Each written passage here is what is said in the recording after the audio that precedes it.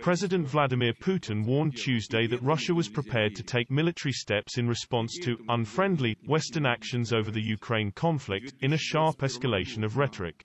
He also called for serious negotiations on Russian security demands put to the United States and NATO during his first call with new German Chancellor Olaf Scholz, who in turn called for de-escalation. The Russian president has for weeks accused the United States and the Washington-led NATO military alliance of stoking tensions near Moscow's borders, but these were his first comments hinting at potential conflict.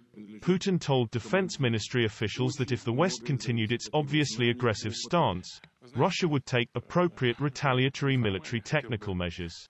Russia will react toughly to unfriendly steps, he said, adding that he wanted to underscore that, we have every right to do so. The United States has been sounding the alarm since mid-November that Moscow could be planning a large-scale attack on its ex-Soviet neighbor Ukraine and has warned Putin of unprecedented sanctions. Western governments have accused Moscow of amassing some 100,000 troops near its border with eastern Ukraine, where Kiev has been fighting pro-Russia separatists since 2014. Russia denies plotting an invasion and has demanded legal guarantees over its security from the United States and NATO, demanding the alliance stop an eastward expansion.